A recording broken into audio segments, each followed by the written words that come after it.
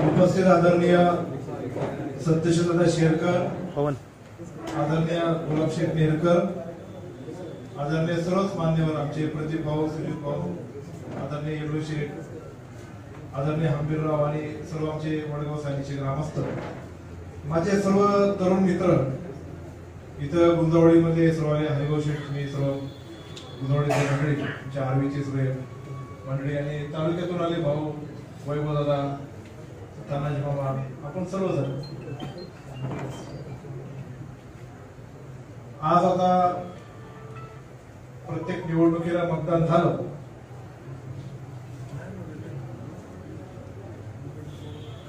का मित्र परिवार कार्यकर्ते जपतात कुठे किती मतदान झाले कसं झाले काय झालं? काळे साहेब जरा विचारायची घेऊन देऊन पण आज एक वेगळं गोष्टीचे साक्षीदार आपण सर्वजण होत आहोत. नऊ सप्टेंबरला जेव्हा पाण्याचं आंदोलन पुकारलं त्याच्यानंतर चौदाव्या दिवशी आपल्याला यश प्राप्त झालं. पंधराव्या दिवशी मी घरी आलो. जेवण केलं. सगळी लोक इथं जमली होती. आणि त्या दिवशी मी असं सांगितलं होतं की आपल्या पायाला जखम झाली होती. ती जर जखम आपण वेळेत बरी केली नसती तर आपल्याला पाय तोडायला लागला असता. म्हणून हे चौदा दिवसाचं आंदोलन पुकारलं आणि ती जखम आपण बरी केली. पंधरावा दिवस आहे पण त्या दिवशी मी असं सांगितलं की ज्यांच्यामुळे जखम झाली ज्यांच्यामुळे जखम झाली त्यांना परत घरी पाठवल्याशिवाय पुढचं आंदोलन हे अठ्ठावीस दिवसाचं असेल. म्हणून ते चौदा दिवस आणि अठ्ठावीस दिवस. किती झाले? किती झाले? बेचाळीस. आजचा कितवा दिवस? आता मी बाहेरच राहिलो. बाहेर जरी राहिलो असेल तरी मी कुठं बाहेर होतो असं मला कधी वाटलंच नाही. जिकडं जाईल तिकडं प्रत्येक गावामध्ये मला आपुलकीने वागणूक तर होतीच की घरातला सदस्य असा तर होतच खूप त्यांनी सगळ्यांनी काळजी घेतली. पण शेवटच्या सभेमध्ये माझ्या जेव्हा भावना मित्र व्यक्त केल्या तेव्हा काळे साहेबांनी सत्यशीलता म्हणाले की तुमचं मतदानाच्या दिवशी सगळं इकडं फिरून झालं का शेवटी तुम्ही इथं शिरवलेलं या? आणि मग आले का आम्ही दोघं तुला घरी पोस्ट करून देतो?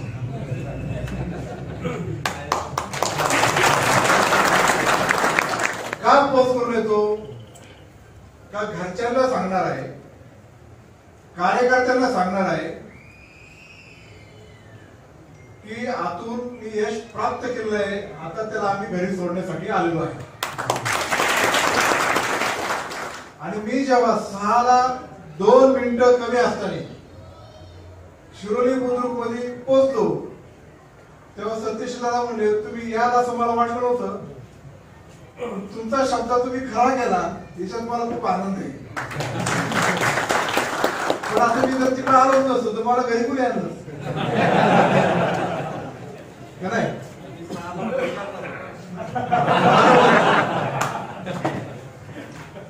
पण निश्चित प्रकारे मला आनंद आहे की तुमच्या सर्वांच्या मेहनतीने वाढू शकेल माझे नाते आहे. तुमच्या सर्वांच्याच मेहनतीने आणि विशेषतः ह्या दोन मंडळींच्या मनसे पक्ष मार्क्सवादी कम्युनिस्ट पक्ष काँग्रेस आय पक्ष शेतकरी संघटना आरपीआय कवाडे गट स्वाभिमानी शेतकरी संघटना शेतकरी कामगार पक्ष या सगळ्यांच्या मदतीने ह्या जुन्नर तालुक्यामध्ये शंभर टक्के परिवर्तन होणारच आहे. इथून पुढच्या कालावधीमध्ये शरदचंद्रजी पवार साहेबांचा विचार हा जो तालुक्याच्या हितासाठी अत्यंत फायद्याचा आहे म्हणून आम्ही जी सगळेजण एकत्र आलो आहोत, ही मोठ इथून पुढच्या कालावधीमध्ये अशीच राहील अशी या बाबतीची मी भावना व्यक्त करतो. मला आज इकडे घरी येत असताना आपण सर्वजण इथं जमा झालात. दादा तुम्ही आणि साहेब तुम्ही सगळेजण मला इथं घेऊन आलात मी तुमचं मनपूर्वक आभार मानतो.